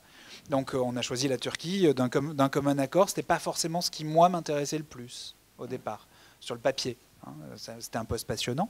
Euh, mais oui, c'est une contrainte parce que comment, comment on fait pour. Enfin, quand on est un conjoint de diplomate, déjà on a un statut particulier, on a un passeport diplomatique, donc c'est très difficile d'avoir un, un emploi. Euh, mon, mon épouse, donc, qui, est, euh, qui, est, bilingue euh, espagnol elle aussi, euh, du coup, c'est spécialisé dans le, un peu dans le français et langue étrangère. Euh, et donc, elle donne, des, cours de français, notamment euh, quand on était, euh, en, pays hispanophone. C'était un peu plus difficile en, Turquie, mais elle avait trouvé des, clients hispanophones quand même, qui voulaient apprendre le français. Voilà, donc c'est- vrai que c'est compliqué. Et, pour la réalisation personnelle du conjoint, c'est parfois compliqué. Alors c'est vrai qu'on a, on a du coup un taux de divorce qui est euh, le plus élevé de toute la fonction publique. Euh, voilà. C'est, ça- mais ça illustre bien hein, ce, niveau de, ce niveau de contrainte. hein. Euh, voilà, parce que quand on est jeune marié, voilà, on, suit. Au bout de 20 ans de mariage, il faut renouveler, il faut renouveler le contrat de confiance. Voilà, après, j'ai un, petit garçon qui est, euh, qui est encore petit, il a, il a juste 10 ans. Euh, donc lui, il est... Pour, pour lui, pour l'instant, c'est tout, c'est tout bénef, hein, je dirais. Il est, il, est, il est arrivé au Pérou, il avait, il avait 8 mois. Euh, on est parti du Pérou, il pensait qu'il était péruvien. Euh, on, est, on est arrivé en Turquie, il a pris ça de façon assez naturelle. Il a appris le turc, pas terrible, mais, euh, mais bon quand même. Euh, et puis quand il est revenu en France et à l'école, on lui demandait euh, T'es d'où? Alors il disait Je suis parisien, parce qu'il est né à Paris. Je suis parisien, péruvien, musulman.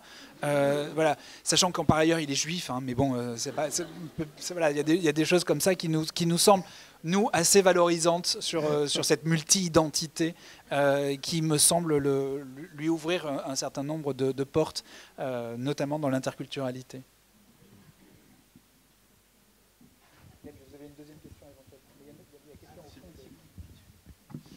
Euh, oui, la deuxième question, me portait, ben, euh, on en a beaucoup parlé euh, sur les, différentes cultures que vous rencontrez. Je suppose, par exemple, pour la Turquie, vous n'aviez pas forcément de, de précédent. Comment vous, constituez j'ai envie de dire, un, un pas culturel pour ne serait-ce qu'éviter les, faux gestes, les, mauvais mots, etc. Je pense que c'est une des qualités qu'on a avec les interprètes, hein, c'est qu'on est des caméléons. Donc il faut savoir, il faut savoir s'imprégner, écouter, euh, voilà, beaucoup, beaucoup être à l'écoute finalement.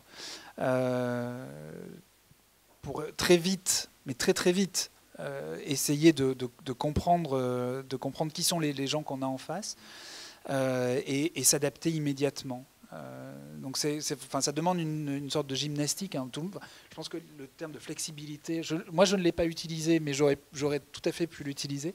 Mais c'est ce qui revenait en, filigrane. Il faut effectivement une très grande souplesse euh, et, finalement accepter l'autre tel qu'il est, sans, jamais le juger.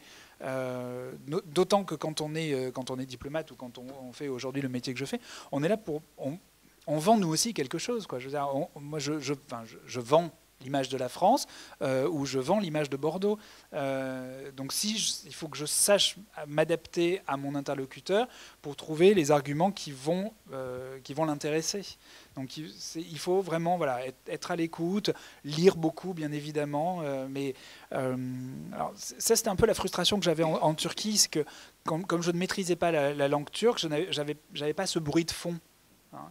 Euh, alors que quand j'étais euh, en poste euh, en, Amérique latine, tout est utile. hein. les, discussions dans le, dans le bar, les discussions avec le, avec le chauffeur de taxi, la discussion, voilà, enfin, la discussion que d'autres peuvent avoir quand on est dans le métro. toutes ces discussions-là font sens. On arrive à les, on, arrive à les raccrocher à- à quelque chose d'utile dans son analyse et, dans sa compréhension de, ce qui se passe autour.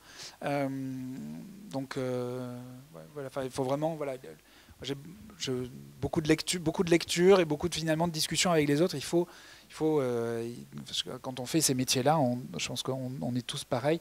On, ce qu'on aime, on aime, les gens, enfin, on aime le contact avec les gens, on aime le contact avec la différence, et, on, s'en enrichit. hein. Donc on a, on a toujours ce réflexe-là d'aller, d'aller vers les, d'aller vers les autres et de, et de les écouter. Merci. Une question Bonjour, j'ai une question pour euh, Monsieur Ramadour. Euh, je voulais savoir, est-ce qu'il est possible de créer d'autres missions diplomatiques dans d'autres mairies que celle de la métropole bordelaise? Et pourquoi ça a été le cas à Bordeaux? Alors, pourquoi ça a été le cas à Bordeaux? J'y ai, j'y ai déjà répondu. En fait, c'est parce qu'Alain Juppé a, a voulu ça, mais toutes, les collectivités ter- territoriales ont une direction des relations internationales ou un service des relations internationales. Il n'est pas toujours euh, organisé comme, euh, comme le nôtre. Euh, nous, en plus, on dépend directement du cabinet, hein, donc on est des collaborateurs proches d'Alain Juppé. Mais dans d'autres villes, ce sera lié à l'économie ou à la culture. voilà, il y, a, plusieurs façons de, s'organiser, mais toutes les collectivités ont des services de relations internationales, euh, avec, des gens à l'intérieur qui viennent de profils différents, un peu comme, le nôtre, euh, donc, où on va chercher des, compétences qui sont complémentaires, euh, donc à la fois sur, les, questions d'urbanisme, sur les questions de mobilité, sur, les questions environnementales, sur le- le- l'ingénierie de projets européens. Vous voyez ce que je veux dire? Donc on a, des profils extrêmement différenciés. Euh, et c'est ce qui fait la, richesse d'un service des relations internationales aussi, c'est de pouvoir, euh, traiter de façon, euh, différente tous les sujets qui sont les nôtres, parce qu'on est finalement des coordonnateurs au service de l'ensemble d'une grosse administration. La- L'administration métropolitaine, plus celle de la ville de Bordeaux, c'est plus de monde que le ministère des Affaires étrangères. hein. Hein, Même si on est le deuxième réseau euh, euh, diplomatique au monde. On est, sans commune mesure avec nos amis américains. Merci. Moi, il y a une question que j'aimerais poser avant de peut-être laisser la parole encore, c'est que euh, vous avez évoqué les contraintes, les contraintes euh, de vos métiers, surtout euh, le métier de la diplomatie et des relations internationales. Là, moi, je m'adresse à, toutes nos invités. Euh, quels sont les moments de grande satisfaction Quelles sont les satisfactions de vos métiers? Oui, là, vous devez m'entendre. Euh, moi, les satisfactions, c'est quand, euh, par exemple, à la fin des salons qu'on fait à Miami ou à New York, que les, exposants américains nous disent euh, Bah, Vous faites mieux que les Américains. Parce que finalement, ça veut dire qu'on a compris leur culture, qu'on s'est adapté à un marché qui n'était pas le même qu'en France et qu'on a pu euh, rayonner à notre manière, parce qu'on apporte quand même notre touche française. hein, faut pas, on a beau essayer de gommer euh, les gros traits ou l'arrogance française, mais euh, globalement, voilà, c'est ça. C'est une fois, à partir du moment où les exposants américains nous félicitent, c'est que on s'est complètement mêlé à leur culture et qu'on a répondu à leurs demandes. Donc c'est ça, ça veut dire que le travail a été bien fait en amont. Un peu de la même manière, c'est pareil, quand on nous félicite après les, les conférences, que les gens sont, sont contents, qu'ils disent que c'est voilà, que c'était fluide, qu'on on donne beaucoup de vie. Moi personnellement j'aime beaucoup donner de la vie dans, quand je traduis, et euh, voilà, quand c'est des grands moments de. Quand on a travaillé dur pour une conférence assez technique et qu'on a. Voilà, c'est ce qui est le plus. Vous partez souvent euh, à l'extérieur, en Europe, Pas voire trop à l'étranger finalement. Bon, beaucoup sur Paris. Il y a beaucoup, beaucoup de grosses choses qui se passent trop sur Paris. C'est dommage qu'il n'y en ait pas. Mais non, pas tant que ça à l'étranger. Non, non. Mais je suis prête. hein. C'est euh, c'est- ce qui est assez sympa. Maintenant, les clients demandent de plus en plus des choses à la dernière minute. hein. C'est vrai, de plus en plus. Moi, je vois vraiment l'évolution. C'est du dernière minute de plus en plus. Ah ouais. Parfois, moi, on me dit, là, on a besoin. J'étais un lundi, un lundi soir, on me dit qu'il faut que tu viennes mercredi. Là, il y a des, hommes politiques qui venaient. Et ils avaient complètement oublié qu'il y avait besoin d'interprètes. J'ai dû partir, euh, je lâche tout. je- Mais ça, en même temps, bon, c'est. On adore ça, ce côté de l'inattendu. On nous appelle, faut partir. C'est. Il y a une, oui, il y a une petite adrénaline qui est, qui est vraiment. On est, on est accro un petit peu à ça. hein. Et pour la petite histoire, nous, on a organisé la venue de, de deux ministres, de Rugy et Travers. On a su euh, la veille qu'ils allaient venir et qu'il fallait tout organiser pour le lendemain. Donc euh, voilà, faut être flexible, hein, c'est ça. Ouais, moi, je dirais, il y a plus- plusieurs, ne- enfin, plusieurs euh, sujets de satisfaction. là. D'abord, euh, quand on quand on s'est pas planté dans son analyse politique. hein. Euh, quand par exemple, on a vu, euh, on a vu qu'un tel euh, allait, être élu et pas un tel. Ça, m'est arrivé au Chili. Ce qui permet du coup de, déjà de, planter des jalons dans ces équipes qui vont être utiles après pour les opérateurs français quand, quand cette personne va arriver au pouvoir. Euh, ça, c'est le premier type de satisfaction. Et puis après, l'autre type de satisfaction, c'est quand on arrive à faire bouger les lignes un peu. hein. Moi, je, en tant que, euh, notamment en, Turquie, là, en tant que responsable de, tout ce qui était diplomatie publique, euh, organiser euh, une nuit des idées. Vous avez entendu parler de la nuit des idées. On a organisé une nuit des idées consacrée à la question de la laïcité.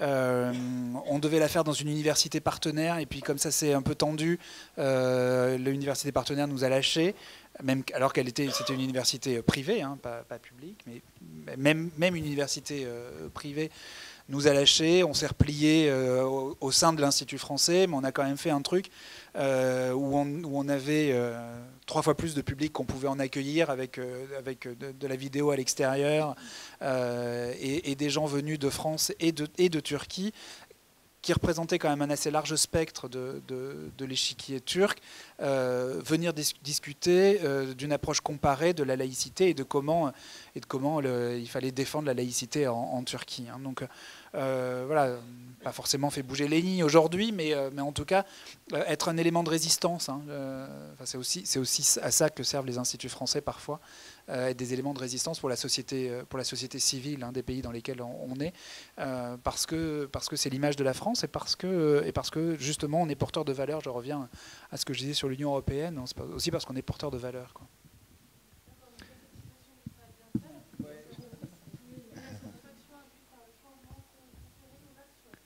Dernière question, voilà. On, va partir pour le.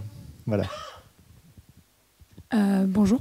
Moi, C'était une question beaucoup plus technique pour Madame Jourdan. Vous parliez justement d'adrénaline et de situation d'urgence. Et du coup, je me suis posé la question, euh, parce que j'ai déjà dû traduire des textes euh, qui concernent l'intelligence artificielle pour mon compagnon, et je me suis demandé si ça vous arrive euh, en, live, en direct, de ne pas comprendre un terme. Est-ce que c'est à vous de faire un travail en amont, ou est-ce que c'est à vous de vous renseigner, à eux de vous renseigner sur tous les termes techniques que vous risquez de devoir traduire ensuite? Bah, on fait un travail oui, en amont, mais c'est vrai que ça arrive, ça peut arriver que parfois il y a des termes techniques qu'on ne comprend pas, mais il faut savoir, on est deux dans la cabine, justement, c'est pour ça qu'on est deux, où il y a le collègue qui va chercher pendant ce temps-là. Et, et parfois, c'est vrai qu'aussi, les clients, comme je vous dis, ne nous donnent rien du tout sur des choses très techniques, donc on n'a pas le. Donc on fait. euh, Très bien. Merci beaucoup. Je crois qu'on a, on a la terminé. souplesse, encore une histoire de souplesse et de. Complètement. Très bien. Merci à tous et tous.